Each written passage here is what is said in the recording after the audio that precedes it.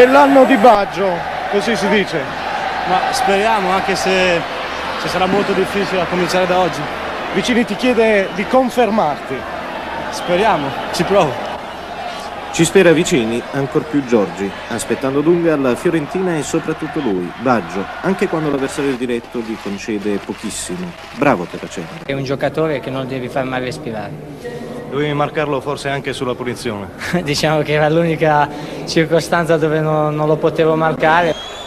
Eccola l'invenzione con la quale Baggio ha evitato alla Fiorentina la prima sconfitta del campionato, togliendo al Bari un punto che Salvemini non sa se definire perso o guadagnato visto che nel primo tempo era stato il Baggio di Bari, Pietro Maiellaro, a scatenare l'entusiasmo di un pubblico tornato in A dopo tre anni.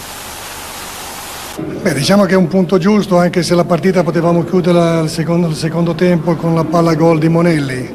In modo una partita molto tirata, nel primo tempo abbiamo aggredito molto la, la Fiorentina, siamo colati un po' la distanza perché mantenere quel ritmo là era troppo elevata con una giornata calda come oggi. Ad ogni modo accontentiamoci. Tra i due gol una partita dai due volti, meglio il Bari nel primo tempo e la Fiorentina nella ripresa. C'erano cinque nuovi stranieri da scoprire, non tutti hanno brillato. Bene Gerson e Gio Paolo nel Bari, quest'ultimo in avvio ha rimediato anche un cartellino giallo troppo severo, ma evidentemente Cornieti aveva fretta di rispettare le nuove consegne.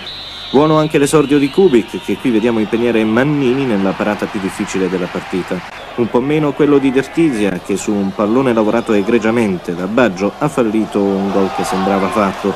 Quasi a pareggiare il conto con Monelli, un ex che ha avuto sull'1-0 la palla buona per chiudere la partita. Invece, per Landucci, è arrivata la grazia.